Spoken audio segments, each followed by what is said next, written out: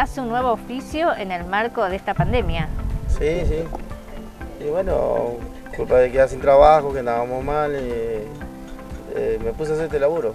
Siempre me gustó trabajar con los fierros. Eh, yo, yo soy albañil así, pero me puse a hacer esto y bueno, funcionó. ¿Cómo surge esto? Sí, me levanté un día, me puse a practicar con una y la hice para mí y tomé todas las medidas que, que necesarias y me, me salió bien. Y de ahí eh, empecé a hacer las otras. Y por lo menos hasta ahora estoy trabajando ahora. Bien, y esto surge porque habías quedado sin trabajo. Se cortó el laburo del albañil para mí y bueno, no tenía otra cosa que hacer. Algo tenía que inventar, digo yo.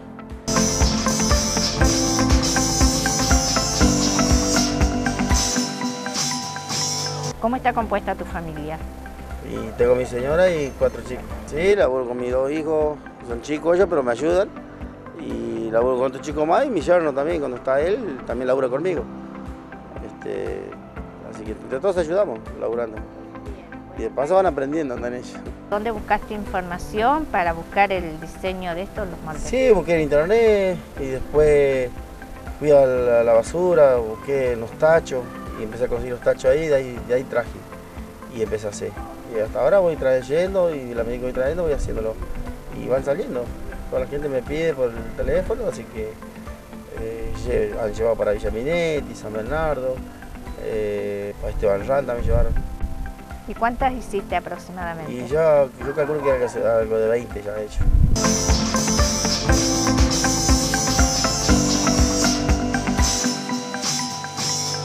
Bueno, ahora, ahora me, me pidieron, como sé, para, para una polla pava, con una hornalla sería, con el caño al costado. También la hice, la tengo ahí, está hecha.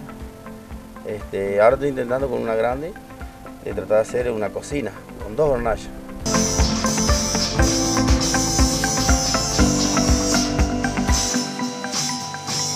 ¿Y qué elementos utilizaste en el Y moladora, taladro y tengo dos eléctricas.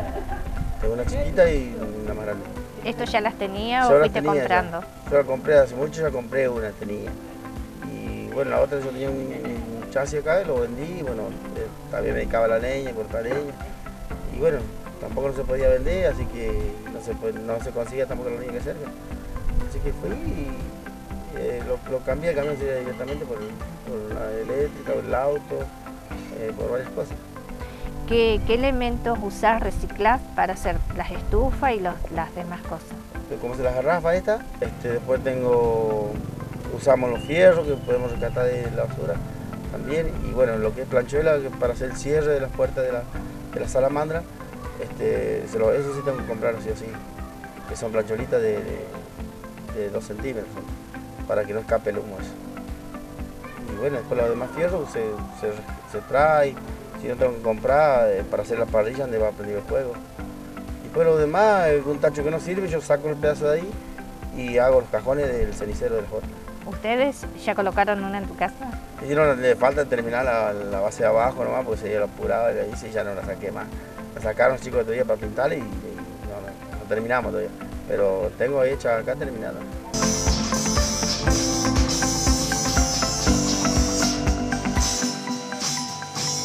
¿Y qué tiempo te lleva hacer una salamandra? Y un día, un día.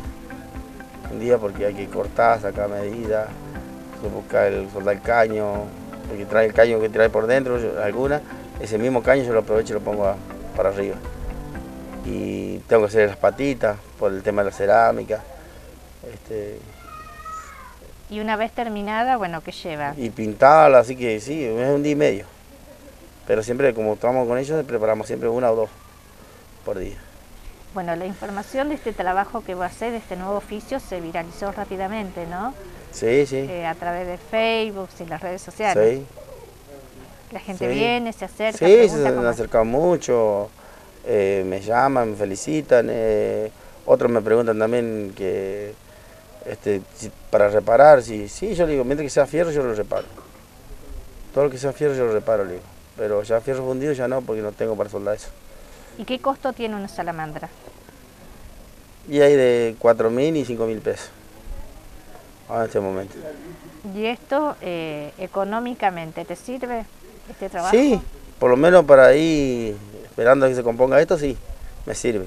Para mí y mis hijos me sirve todavía. Este, tampoco no puedo pedir una locura porque no, hay, vemos que estamos todos mal así. Así que yo saco ahí lo, lo justo nomás. Para comer. Para comer, sí. Sí, sí. Sí, lo justo, así que por lo menos los gastos cubrimos bien. Bien, ¿dónde te puede encontrar la gente que esté dispuesta en, en colaborar con vos? Porque acá hay muchas cosas que se reciclan, ¿no? Vos ya van... Chapones, todas esas, cosas. Eh, eh, lo de los lavarropas, la parte de adentro, se hace los, basureros. Eh, acá todos me conocen por el Tinto Montenegro nomás. Así que yo tengo en, construcción Tinto Montenegro en el Facebook también. ¿Y la dirección? Naciones Unidas y Vuelta Obligado.